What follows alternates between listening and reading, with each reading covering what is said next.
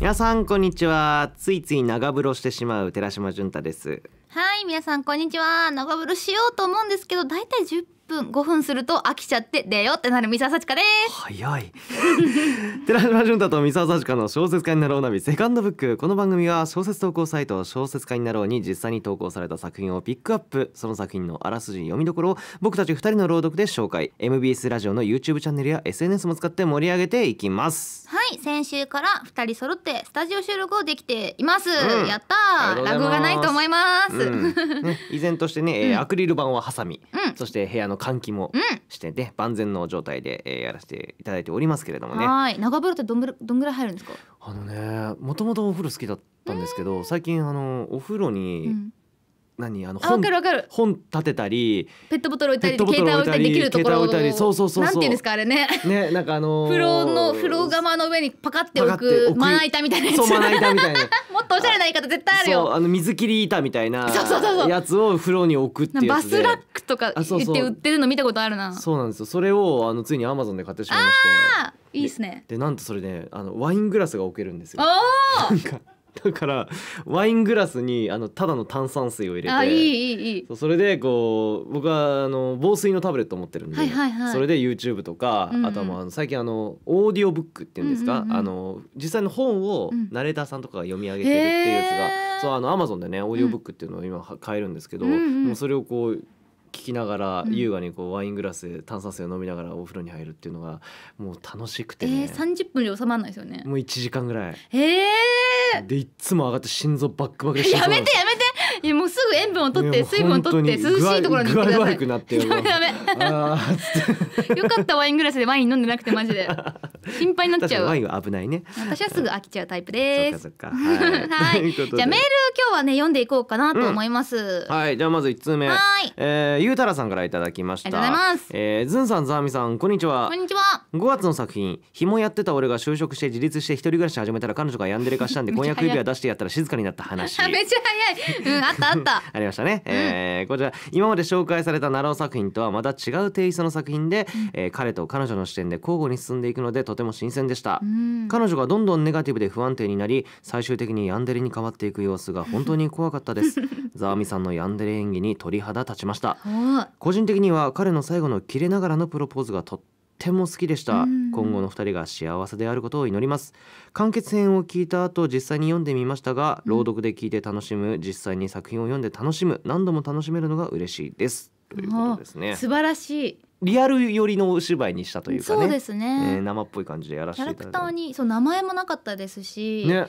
年齢設定もそんなにうん。細かくあるけどあんまり関係ないというかそうですね。あの学生さんとかが主役だと年齢設定すごい大事じゃないですか。一個違うだけですごい先輩っぽくなったりとかするけれどもこのなんか普通にその辺にいそうな男の子女のうん。子を演じるっていうのがなかなかナロー作品ってやっぱ結構キャラクターが立ってるものが多かったので。そうですね。やれやれ。みたいな 感じが多いから。大体中世にいるやつそう そう中世にいるやつですよ今の。大丈夫でしたわ？みたいなやつがいっぱいいたけど、うん。リアルにね。リアルなやつ。うん、やったんで声も作らずに芝居に集中できるというか。そうでしたね。本当にほぼ声作ってなかったですよね、うん。うん。それでまたなんか新たな番組の良さというかも感じてもらいましたよね、うん。きっと、ねまたこういったテイストのね作品今後やる機会あったらねまたやりたいですね、はいじゃあ次はバッハさんからいただいたメールをご紹介していきます、はい。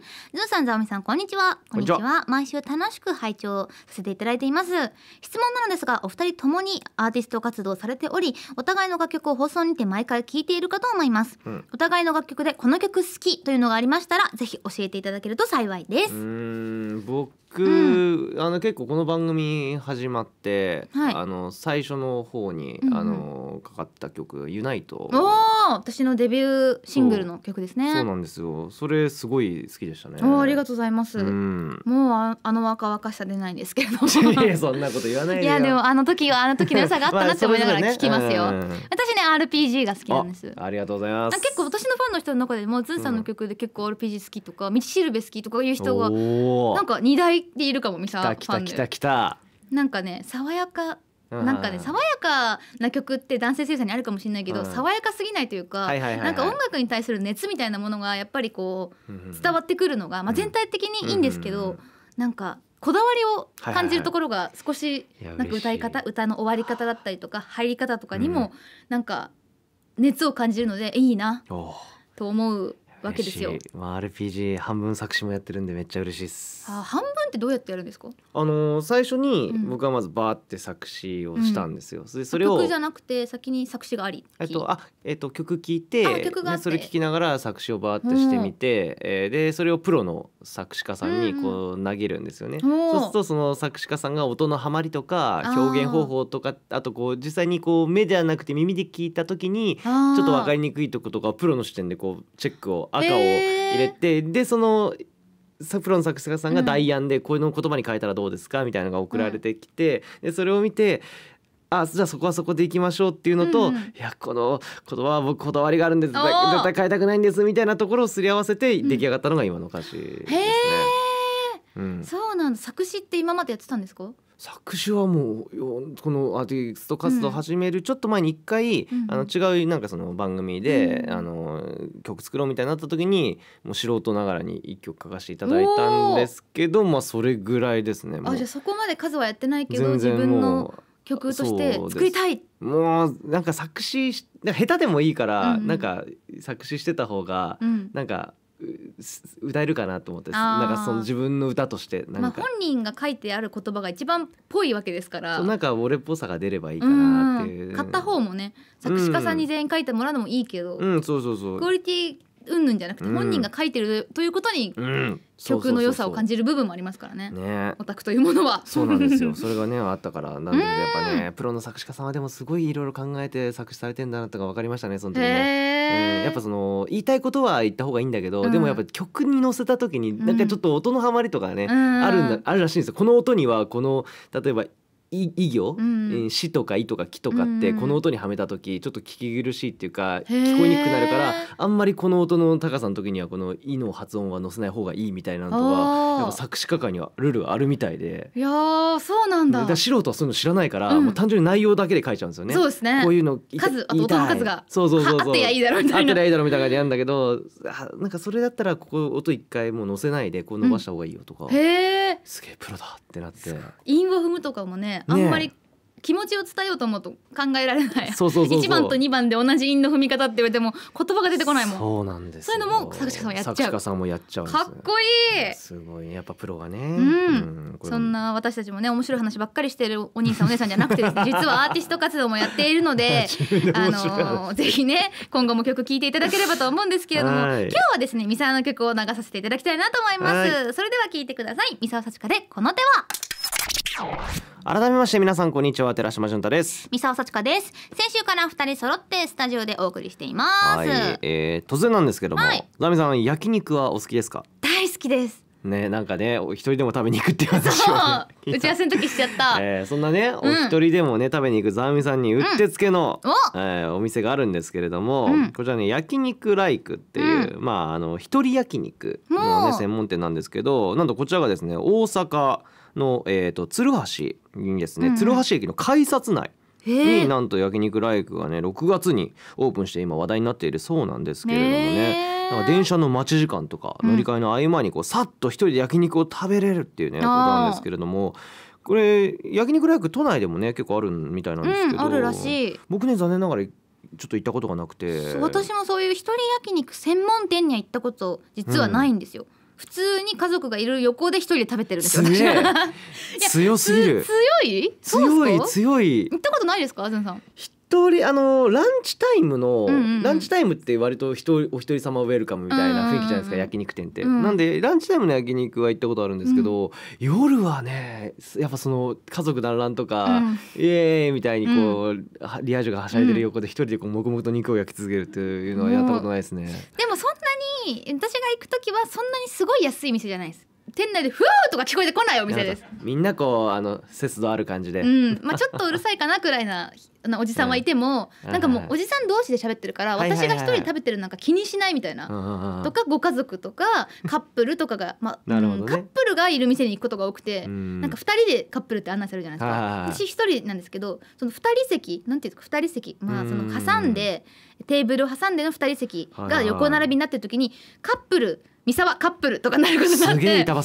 その時は辛いちょっと辛いけどう、んもう自由に食べられるのが嬉しいって思いながら盗み聞きして楽しんでます。あお互いのね、うん。カップルの事情を。そう。それが面白いんですよ 実は。すげえ楽しみ方してるな。そう。そんな楽しみそんな方。楽しみ方でも一人焼肉専門店に行ったら誰も喋ってないから逆に盗み聞きできなくてあそっか。私は楽しくないかもしれない。そうだね。ゴシップガールとしては。そうそうそうそう。あそうなんだみたいな。ないから。かそっかでもしかもこのね焼肉ライクさんすごい安いよ、うんねご飯スープキムチが全セットについてバラカルビセットが 100g で530円。安い。和牛カルビ牛タンハラミセット 150g が1480円。安いな。好みの部位や量が選べる量も選べるのいいですよね。なんかここばっか食べたいとかは人と行くとあんまり言いづらい確かにね。じゃないですか。うん。またまたタン戻るとかな思われたくない。あのなんかさタンを追加しちゃいけない感じなんなんだろうね。最初の絶対タンって最初にさ頼む頼む。絶対頼むけどなんか23発目のタンはないじゃんもう。ない絶対ない何なんだろうね一人だとできるんですよそれが。タンをずっといけんだ。タンもずっといけるし最後の方にもう一回タン頼めますいいから。なタン締めも？タン締めできますよ。できるのいいね。それがいいんですよ。まあ好みの量を選べるのと部位選べるっていうのはやっぱり気軽ですいね。やいいな、うん。これちょっと行ってみようかな。匂いがそんなにつかないんだったら、その仕事と仕事の合間に行けますよね。なんか平均滞在時間20分って書いてあるから、うん。焼肉ってやっぱ1時間とか2時間ぐらいかかるイメージですけそうど、ですよね。20分って普通のご飯屋さん行ったらかかりますからねそうですよね。ってことはもう頼んだらもうほぼこうお肉のセットとか用意されてすぐ出てくるすぐ出てきてですぐぐ焼いてですぐ食べてさっと出られる。最高だな。あちょっともう急に行きたくなって今日行こうかな、ただただスタジオでなんか焼肉の匂いするよねって言ったらえあああってなっちゃいますよ私たち。にスあの普通の人はもうちょっと換気されてる。まあ今のスタジオは換気されてるんですけどうん。普段のスタジオって密閉されて隣の人と近くてこもるもんね。こもるもうあれですらこもるもんね。あの、ファミチキとか。あ食べてる人唐ね揚げくんとかえね今誰か唐揚げくん食べてる？みたいな、ね。あすいません！みたいな、あいいよいいよ！みたいなことなんかありますよね、その話する。もう誰食べてんの？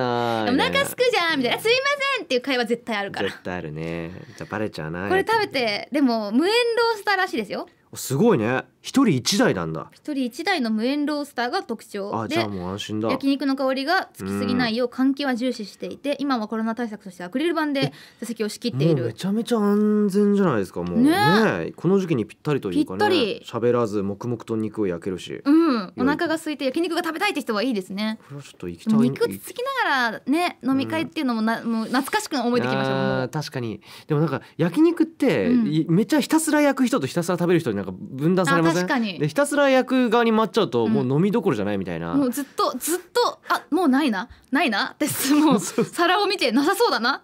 もうちょっとカルビいけます？っいけ。て頼む人になる。ちゃってますけど誰か行きます？みたいな。こここれ焦げそうなんですけどっていう係やると大変ですよね。ね。で最終的にもうなんか黒くなった人参とかピーマンばっか食ってるみたいな、うんもうね大丈夫大丈夫です。先輩とかいるとやっぱなっちゃいますね後輩は。それも最近にもう34ヶ月してないから。あーもうなんか昔今もうなんかその同窓会みたいな気分 だった焼肉昔肉焼いたよなみたいな。肉焼いたい確かに。しゃぶしゃぶとかね頼んでましたねよくね。うん世界は変わってしまったねもうね。また落ち着いたらぜひこの番組でもみんなみんなであの飲み会とかね。戻れるといいね。焼肉とか行きましょうね。ん。はい。はい。はいということで、えー、それでは奈良尾作品行ってみましょう。それではってどうなの？それではですか？もう行きましょうか、えー今月ピックアップしている小説はこちら。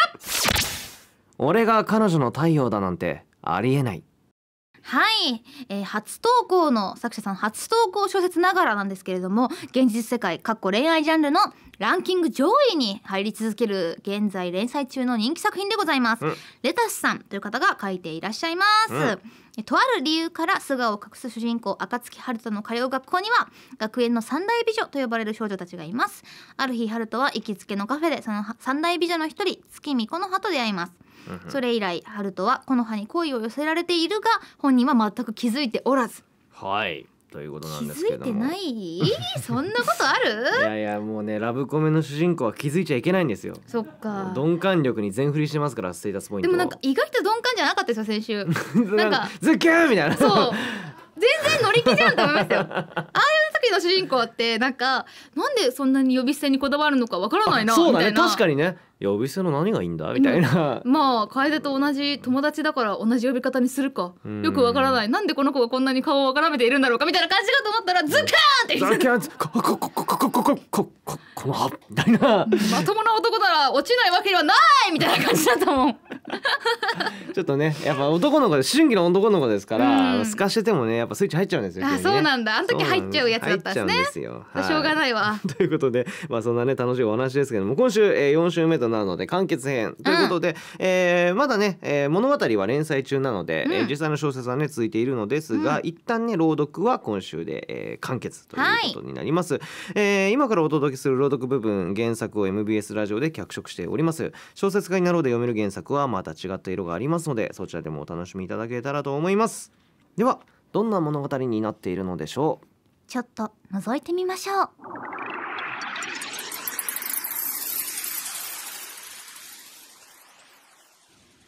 そうだ春今日一緒にお昼ご飯食べたいなって思ってるんだけどどう？いつもは友達と食べてるだろう。どうしたんだ？うーん気分？相変わらずだな。あれ？春今日は弁当持ってきてるじゃん。ま中身パンだけどな。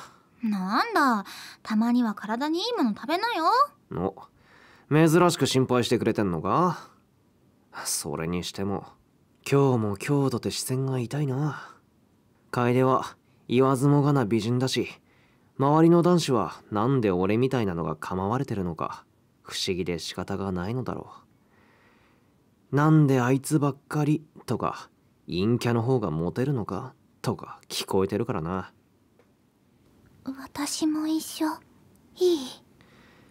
教室の喧騒がざわっとひときわ大きくなる。そりゃそうだ。男子を寄せつけないと言われている月見が自分からお昼を一緒しようと提案したんだから。うーん。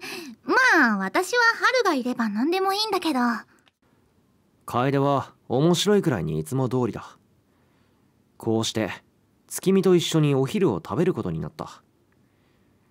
ふと隣に目をやると可愛らしい弁当箱に入ったおかずを幸せそうに食べている楓が目に入る。お今日の弁当はマキさん作？あそそうだよ。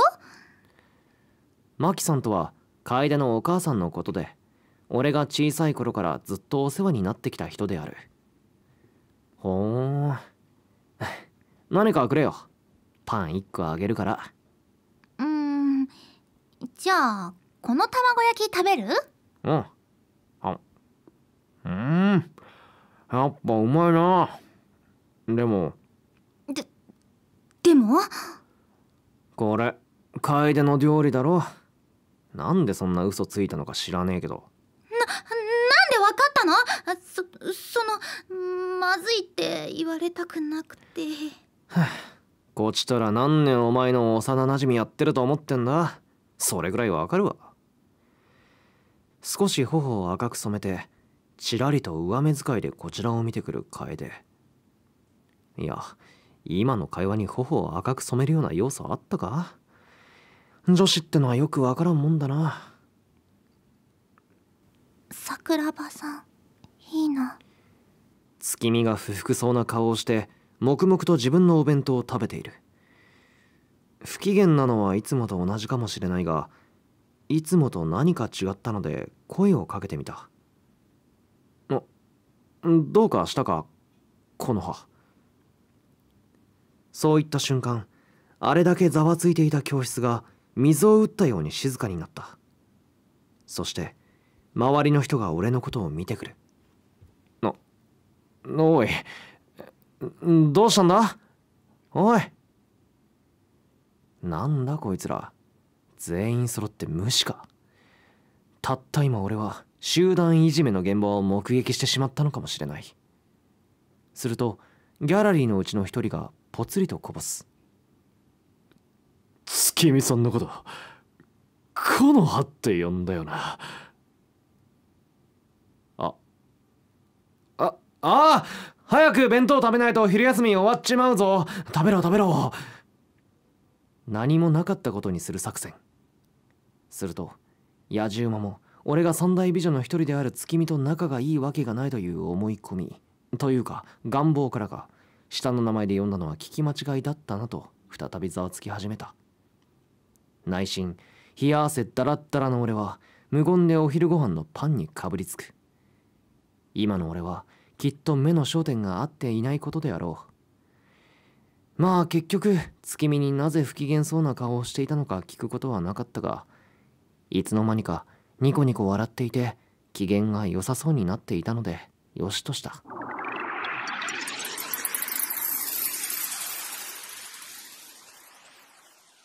はい番組ツイッターをフォローして「えーハッシュタグなろう MBS」をつけてみんなで予想し合って楽しもうというツイッター連動コーナーでございます。はーい。はい、えーまずはね、えー先週の答え合わせからいってみましょう、はい。えー先週のお題は「君が好き」でございました。君が好きだ。きあそう君が好きだ。はい。ってことなんで、えーうん。じゃあまずは僕からはい。答えを発表しましょう、先週の僕はうん。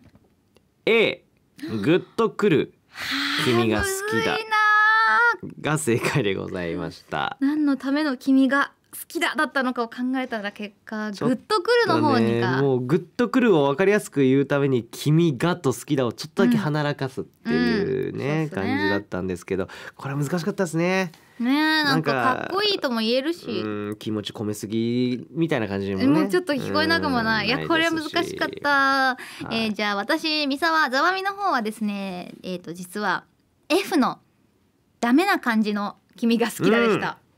これね僕分かりました。本当ですか、うんいまいちなっていうのとうん、わかんないじゃんって思いました。まあどっちもどっちじゃ、いまいちなうん何ダメな感じって思いましたけど。うん、なんかでも絶妙にこのキャラクターが見えましたね。あ本当ですか？だダメそうなキャラクターが見えましたね。うん。本人もダメそうだしこの告白多分うまくいかないだろうなっていうう ん告白にした方がダメな感じ出るかなと思って一応そうそうそうそう。告白がダメな感じに ちょっと想像してみた結果でしたねあれは、うん、ということでね、えー正解された方いらっしゃいますでしょうかね。お。めでとうございおめますでとうございます。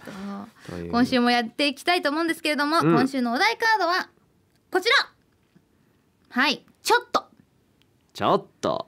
むずちょっとって言いようがいくらでもありますよ。シンプルになりましたね。はい、はい。A 別れた人を追いかけてちょっと、うん、B 少しだけ欲しくてちょっと。C 足を踏まれてちょっと。D 噂話をする時のちょっと E 警官が呼び止める時のちょっと。F 犬がじゃれてきてちょっと。G お願いする時のちょっと。H 文句を言う時のちょっと。はあ、わかりやすすいのはね何個かあるかもしれないけど、難易度はちょっとまだ依然高めかもしれないですね。結構高いですねはい似ちゃうやつが何パターンかありますね。うんはい難しいですがはいじゃあ私たちこれからはい A から H の感情が書いてあるカードをね、えー引きますはい、じゃあ私から引かせていただきます。はい、どうぞ。ね、このお題カードとかはね、ぜひツイッターを見ていただければ載ってると思います。おちょっと頭抱え出しましたよお。一番一番やばい？やばい。どれだろう？やばいやつある一かな？番来ないで欲しかったやつ来た。やばい。はいわかりました。え来ないで欲しいやつあるかな？うん。全部同じような感じに。いいやじゃあこの上から、これ。ミサワはねこちら。あーむずっ。はい。むずいな。へー。二つに絞れたらいいな。はい。わかりました。じゃあ。じゃあズーさんお願いします。はいじゃあ行きます。ちょっと お相撲さんいた？え絶対ちょっとふくよかだったでしょ？違う。いやむずいむずいむずいむずい。ちょっと間違えちゃったそれかなふくよか間違えてふな警官かふくよかな犬がじゃれてきたふくよかな人がちょっとっていうのかふくよかなっちゃった。ふくよかなお願いをする時か。ふくよかって言わないで。文句うん。じゃあ次ざわみはですね。うんうん。いやマジむずいな。いきます、はいちょっと。うん。あーあーむずいな。むずいですよね。むずいな。めちゃめちゃうーって言われてる。まあでもこれかな？はい、うん。予想しましたよ。はい、うん。はいという感じで、はい。え私たち今演技してみましたのでリスナーの皆さんぜひ予想してツイートしてみてください。そして番組ツイッターのフォローよろしくお願いします寺島俊太と三沢幸香の小説家になろうナビセカンドブックいかがでしたでしょうか？はい今回ね朗読の作品やっていた作品は、えーこれで完結。うん。まあでも作品自体は続いているのでこの後が気になるなという方はぜひぜひ、えー読んでみてほしいなと思います。そうですね。まだ物語的にはまあ序盤も序盤だと思うんで、うん。はい。だって三大美女一応3人出てきましたけどこの1ヶ月でね、うんうんうん出てきたけど基本的には幼馴染の子とこのはちゃんとの関わりが多かったので、もう一人の子との関わりだったりとかなんかそれ以外もどんどんヒロインが増えているという情報が入っていますので、うん。ねたくさんのヒロインに囲まれたい方はぜひ読んでみてはいかがでしょうか。はい。小説家になろうでは今月紹介する作品はもちろんたくさんの作品を読むことができますし皆さんの作品を投稿してもらうこともできます。現在小説家になろうでは出版社各社とタイアップ中。締め切り間近の第1回集英社ウェブ小説大賞第2回アーススターノベル大賞。第8回アイリスネオファンタジー大賞など多数の企画を実施しています。詳しくは小説家になろうのホームページをチェックしてください。そしてこの番組は YouTube チャンネルでも楽しむことができます。また Twitter も開設していますのでフォローリツイートをよろしくお願いします、えー感想などをつぶやいていただく際はハッシュタグシャープなろう MBS でつぶやいてください。またリスナーの皆さんから番組へのメールもお待ちしております。メールアドレスはなろうアットマーク mbs1179.com narou アットマーク mbs1179.com です。はいそして2人ともに Twitter&YouTube チャンネルやっておりますので、えーこちらもフォローチャンネル登録よろしくお願いいたします、うん。ということで小説家になろうナビセカンドブックまた来週お会いしましょう。寺島俊太と三沢幸子でした。バイバイ